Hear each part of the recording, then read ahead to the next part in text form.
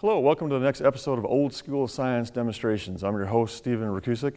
Today we're looking at Bernoulli's principle. Uh, once again, you'll notice there's about 10 or so of these different demonstrations that deal with Bernoulli's principle. Uh, it's really a fun concept to look at.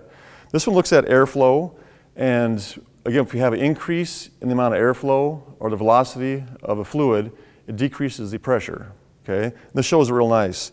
Um, again, next to the video, there is the essentially demo card which includes the materials list. We also have a lesson plan next to this uh, video also.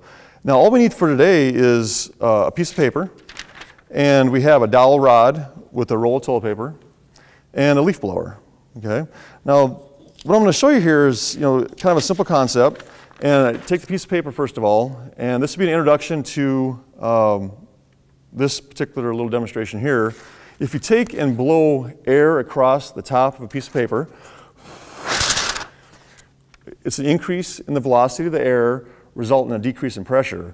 So the pressure above the piece of paper will be less than the pressure below it. As a result, we'll have lift from below. It'll lift the paper up. We'll try it again here. That's something all the students can try right at their desk, okay? Now, this little demonstration here also kind of works in the same, uh, the same way. What I have is a, a roll toilet paper.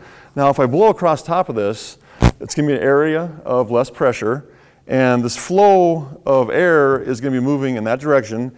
It's going to take the paper with it, okay? It actually works pretty well. Normally I'd have a couple students, you know, hold this from each side, and I would blow this off, and, you know, it usually works good right in the classroom there. It can blow off right over top of the kids. It's pretty fun. We'll try it here once. And you just want to aim the, the tip of the leaf blower right across the top of the toilet paper, kind of in the air, and it should shoot it off in that direction. All right, we'll try it.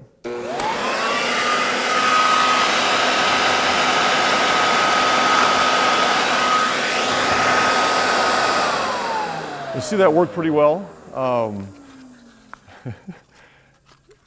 and actually, it'd be a nice way to even TP a house uh, during Halloween time if you want to want to do that. That's another option too.